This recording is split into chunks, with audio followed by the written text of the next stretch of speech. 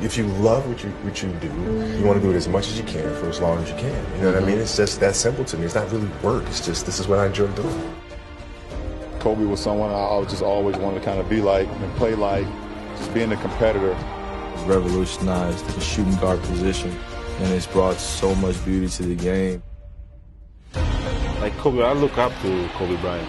This guy, ice water in his veins. Three, Kobe, go! He's done so much for the game. You know, he pretty much put the ball in a lot of people's hands trying to make them be like Kobe. Words that come to my mind when I hear Black Mamba. One of the deadliest strikers. He's always trying to take your heart out, man. You got to be ready for that. Everything I learned came from Kobe. You know, words can explain his impact he had on this floor.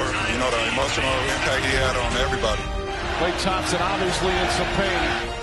Don't ever question the heart of that guy. I just want to go out and play for him.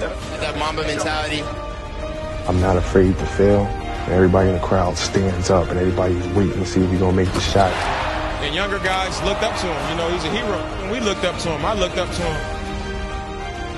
He's doing those Kobe Bryant pump fakes. But his impact will forever be a part of this game. Uh, he's a legend. Legends never die, so I mean, he will forever be remembered. You know, you don't have that much time to play this game, and you know, if you're able to be remembered, you know, for the, the great things that you did, the positive things that you did, making people feel, you know, great, that's a pretty cool thing.